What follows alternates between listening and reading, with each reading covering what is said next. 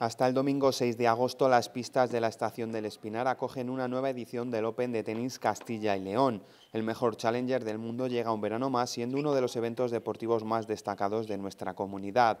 En esta edición, la número 32, consolidan lo anterior y añaden una nueva pista y más dotaciones en premios. Pues las sensaciones para esta nueva edición yo creo que son muy positivas. ¿no?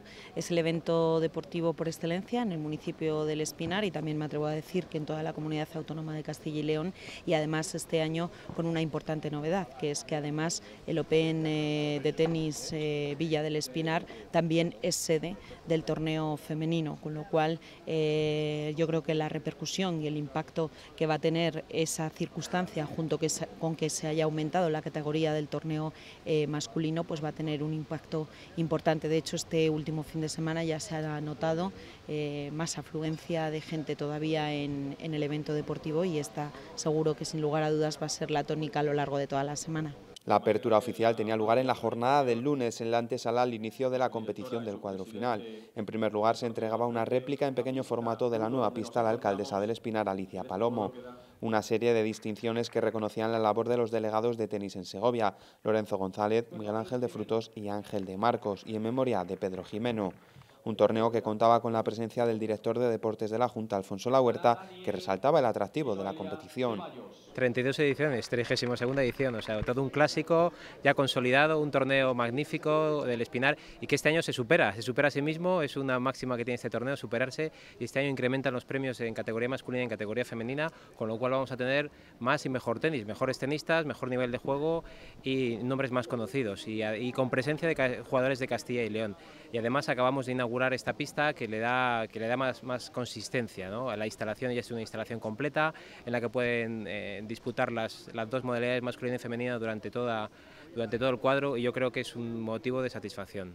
Y también hablaba de la importancia del torneo para nuestra comunidad a nivel turístico y deportivo por toda la repercusión económica que genera. Aquí hay dos, grandes atractivos. Uno es el deportivo, el deportivo por el altísimo nivel masculino y femenino del torneo y otro es eh, el encanto de, donde estamos, eh, del, municipio del Espinar y todo el entorno. Eh, así que les, animo a acudir porque van a tener garantizado tanto el deporte como el ocio en, este, en este Open de tenis del Espinar de Castilla y León. Para la inauguración oficial de la pista se contaba con la tenista boliviana Noelia Ceballos, que hacía el saque de honor de esta edición. Al cielo se soltaban globos con los colores del Espinar y de la comunidad de Castilla y León. Así arrancaba un torneo con unas expectativas muy altas para el presidente de honor, Pedro Muñoz.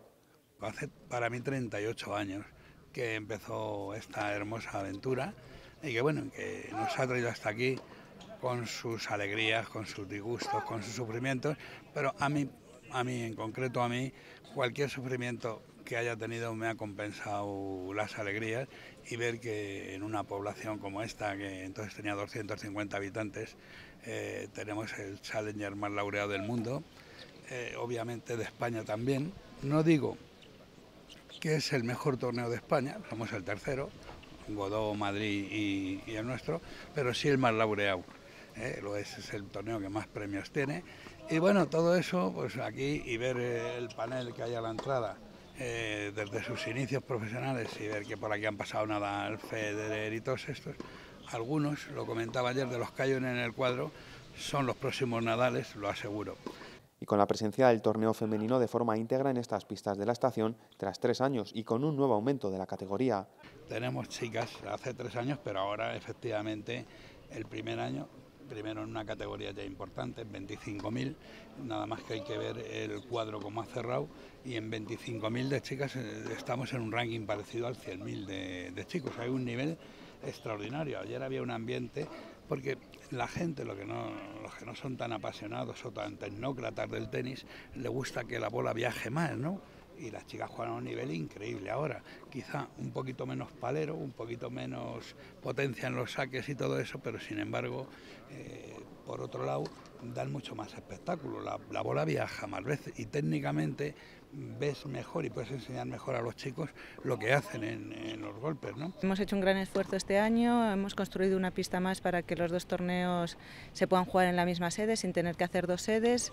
Hemos subido la dotación de los chicos a un 100.000 más hospitalidad y las chicas a un 25.000. La verdad que Parece que esto se recupera un poco, está claro que todavía nos falta, ¿no? Siempre faltan cosas, pero bueno, vamos a ver si esto ya es un escalón para arriba, no que los años anteriores siempre estábamos ahí sufriendo mucho con este tema.